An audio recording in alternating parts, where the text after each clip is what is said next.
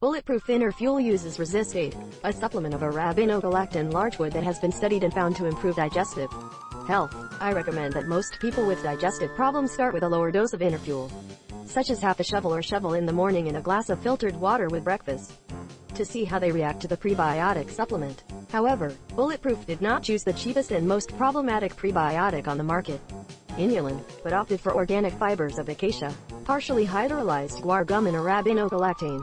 All prebiotics that I recommend. Bulletproof InnerFuel is an excellent prebiotic supplement at no additional charge and is recommended by Fix Your DAR to improve your microbial and digestive health. Acacia fibers cause fewer digestive problems than other prebiotics, including inulin, because they close more slowly in the digestive tract and cause less flatulence and flatulence. In some people with a heavy digestive system, dysbiosis, or prebiotic supplements, symptoms may worsen, including increased gas production, abdominal pain, indigestion, bloating, belching, and flatulence. InnerFuel Bulletproof Fuel uses sun fiber, a type of PHGG that has been studied and tested to improve digestion.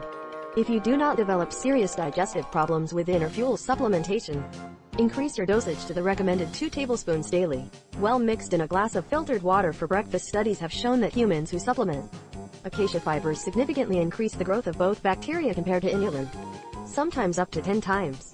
Acacia fibers were found to significantly increase colonies of the probiotic bacteria Lactobacillus and Bifidobacteria at additional doses of approximately 10 to 15 grams per day.